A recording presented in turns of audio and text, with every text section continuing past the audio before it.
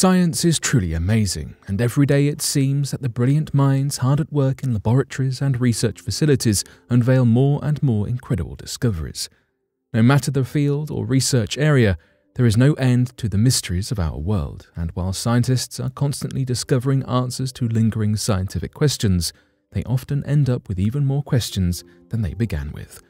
So today, here at Unexplained Mysteries, we will be looking at three of the most interesting recent discoveries that science has presented us with and what questions they either answer or create.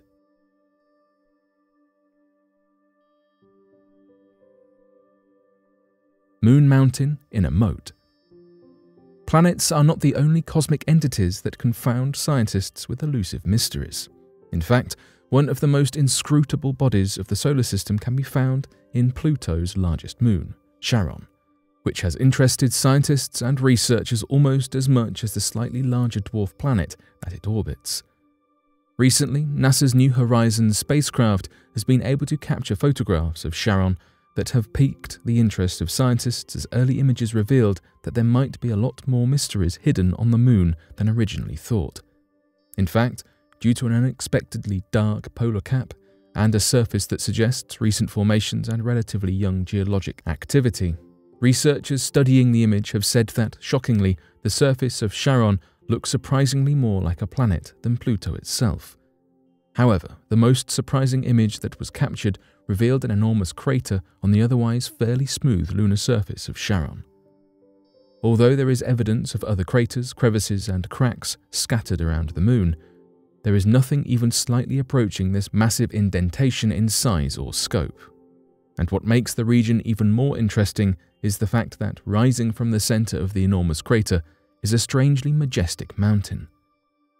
This strange feature has earned the name Mountain in a Moat and has raised questions as researchers attempted to discern how such an odd landmark came to be on a faraway moon orbiting a small dwarf planet such as Pluto.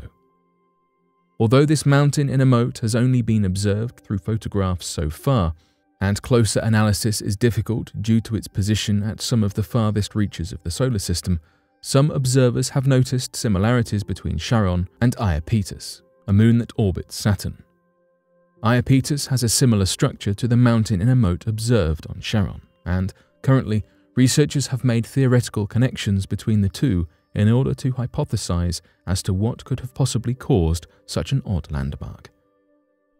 Anne Verbiscer a team member with New Horizons has noted that both moons have a mountain. Instances of icy volcanism and ground based detection of ammonium hydrate, along with cracks formed due to faults from potential lava tubes. Although it is anyone's guess as to what could have caused the cracks initially, Verbiscer explains the other elements by saying that ammonia hydrate acts like antifreeze when mixed with water ice and can help with making cryovolcanic activities possible on bodies such as Charon and Iapetus. Ultimately, it seems that the lack of other craters on Charon combined with the cracks along its surface suggests that the moon could have once been a dynamically active world rather than a stagnant lump of rock simply orbiting Pluto. At any rate, scientists believe that there is no doubt that at one point in time the surface of Charon was much more active than it is now, even if that time was only a brief moment.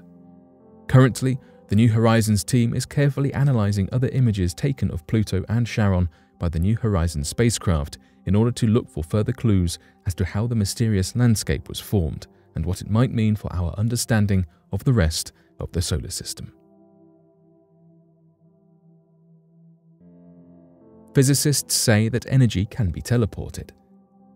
Sometimes some of the most interesting scientific breakthroughs are not physical breakthroughs at all but rather theoretical conjectures about the nature of the universe from a quantum physics standpoint. One of these most recent conjectural propositions is incredibly interesting because it introduces the idea that energy might be able to be transported over expanses so great that the potential distance has no limit. However, this idea exists on a purely particular wavelength, rather than the entire science fiction notions of transporting bodies and spacecrafts across the cosmos. The researchers involved in this recent proposal, who work out of Tohoku University in Japan, are led by Masahiro Hotta, deal with the properties of entanglement experiments wherein particles with no apparent connection become joined to each other simultaneously.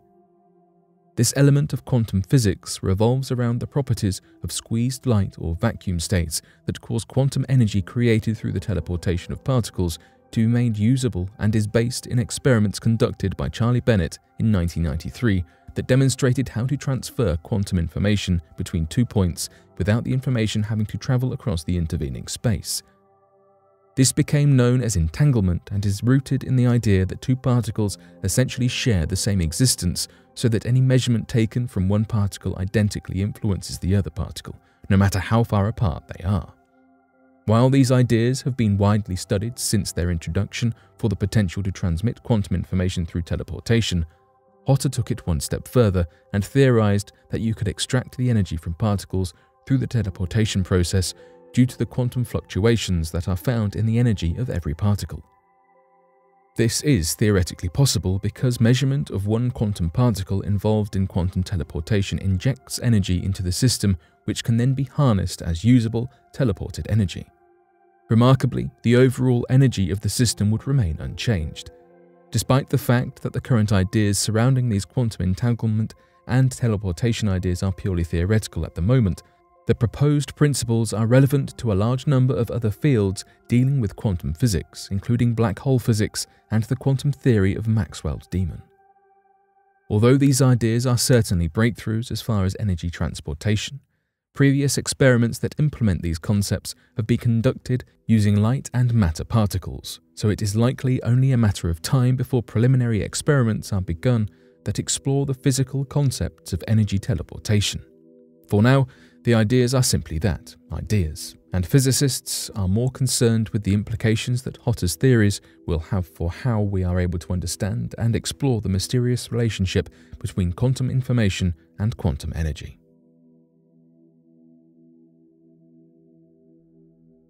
Baby octopus grows hundreds of mysterious organs. Sometimes discoveries are made which scientists simply have no answer for.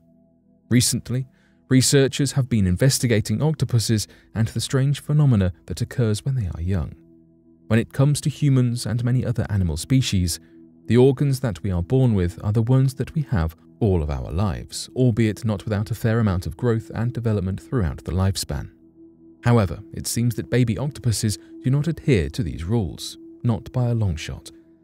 Before octopuses are born, they are covered in hundreds of tiny organs that spread across every surface of their bodies, including even the innermost nooks, crannies, and pockets of skin. What is truly incredible is that these hundreds of organs are so small as to be microscopic, and they are entirely temporary. Known as Kölliker's organs, or KOs, they cover the skin of the baby octopus in a broom-like formation that occasionally appears to be a small, folded umbrella. These umbrella-like additions are all capable of opening and blooming into a dandelion of bristle fibers. And then, for reasons that remain entirely mysterious to scientists, these KOs disappear long before the octopus reaches adulthood, never to be seen again.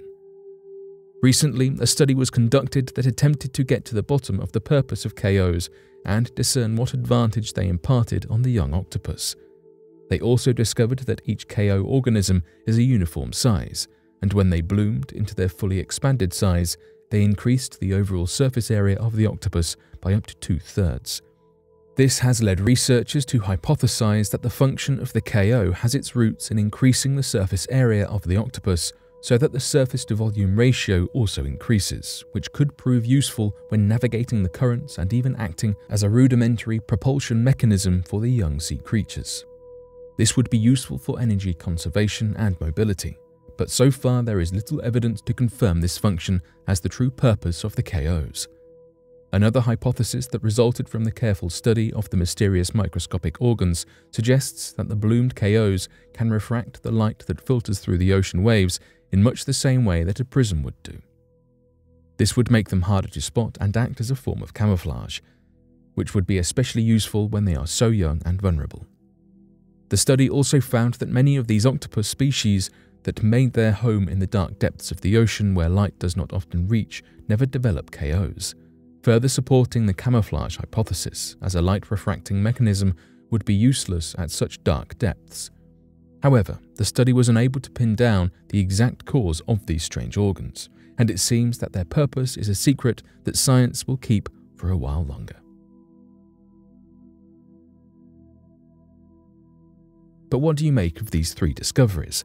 Be sure to let us know your thoughts in the comment section below and help us by growing this community while working to solve these unexplained mysteries. Thank you for watching and don't forget to subscribe for more videos.